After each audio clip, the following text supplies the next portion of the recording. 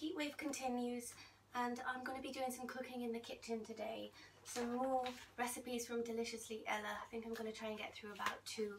Um, excuse the funny lighting arrangements, but because this kitchen has only got um, spotlights under these shelves and under the kitchen units, it's kind of dark above. So I've actually got another lamp here.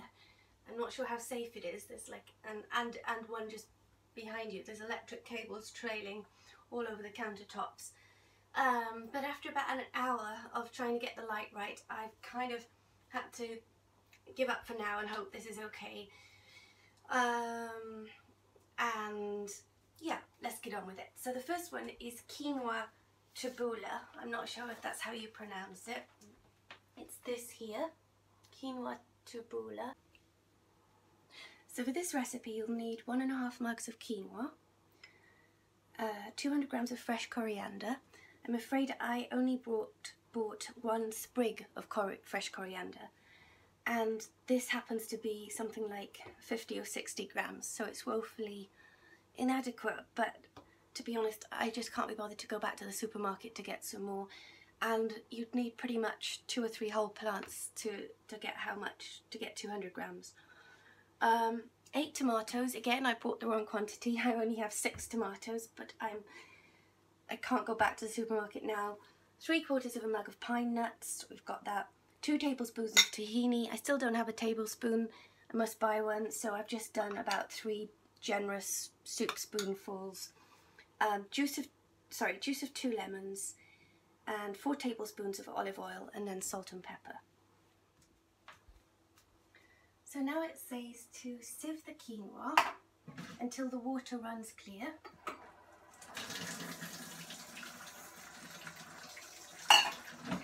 To be honest, there doesn't seem to be that much sediment with this quinoa. I don't know if it's just the type I've.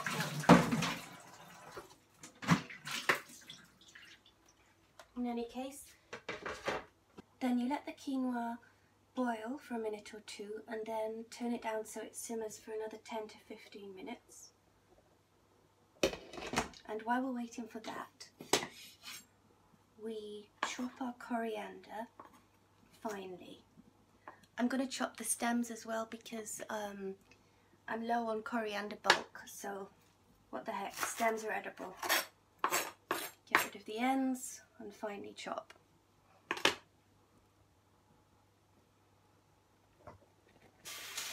Okay, there goes the quinoa. And now I turn it down. Oh dear. It boils over and all the little beads have gone everywhere. Hmm. Okay, I'll have to leave the top off a minute. Turn it down to two. Okay, finely chop. Okay, coriander chopped. Then chop the tomatoes into small salsa-like squares. Okay.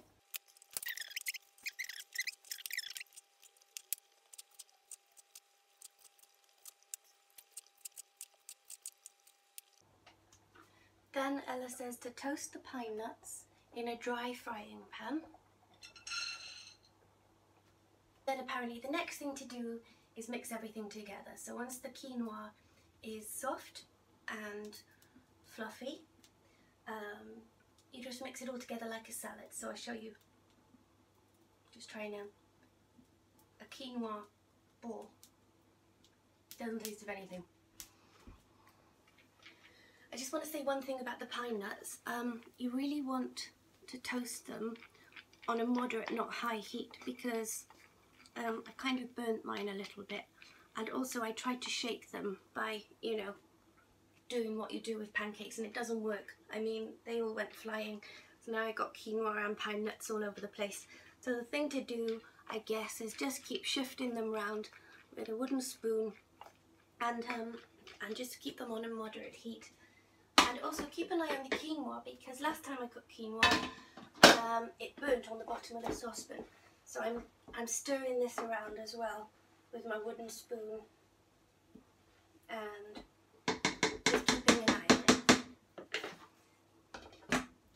Now, as with uh, lots of Ella's recipes, it's they're pretty big portions. It says they most of them serve four, um, but I think they're still quite generous portions even for four people. So get a really big bowl to put your salad in. So now I've got my tomatoes, coriander and slightly burnt pine nuts in my salad bowl. I put in the quinoa. This is my biggest salad bowl and I still think this might not be big enough. Oh my goodness, how do I mix this? the answer is you mix it with great difficulty. And honestly, quinoa has to be the peskiest food I've ever cooked because the bits get everywhere. They get everywhere when they're dry and they get everywhere when they're cooked. so I think for months we'll be finding little quinoa balls all over the flat because cooking in bare feet they stick to your feet as well. So there's a heck of a lot of cleaning up after quinoa although I'll probably put up with it because it's so healthy and Ella makes it taste nice. Now for the lemon juice, mix this in too and um, I should say that you really do need the amount of tomatoes in the recipe and you really do need pretty much two or three whole plants of coriander which is pretty expensive and not something I can afford and um, actually I'm struggling to afford a lot of these ingredients and then we pop the olive oil in from my little fish bowl, which I think I got in Heal's. I love it. Look, there's the fish eye at the, there's the fish eye, you probably can't see. I really love this little bowl. Okay, mix this in a little bit.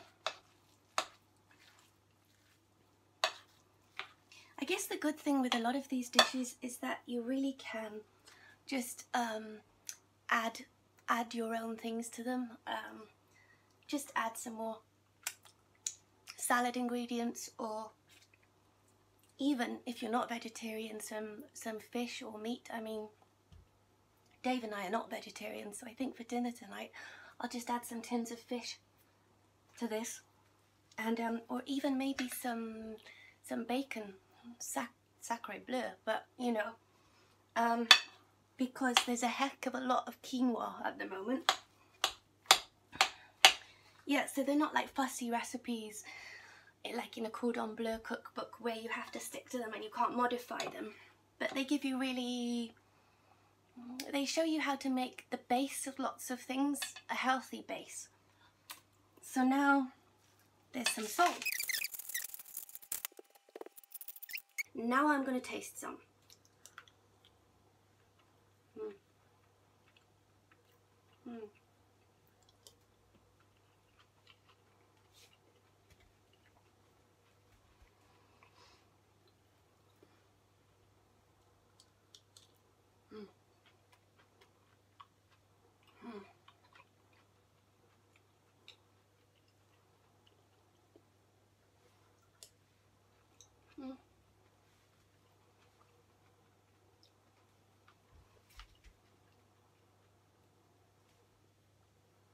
actually really lovely, even though I've got, even though I've got the temp, um, the temperature, even though I've got the quantities wrong.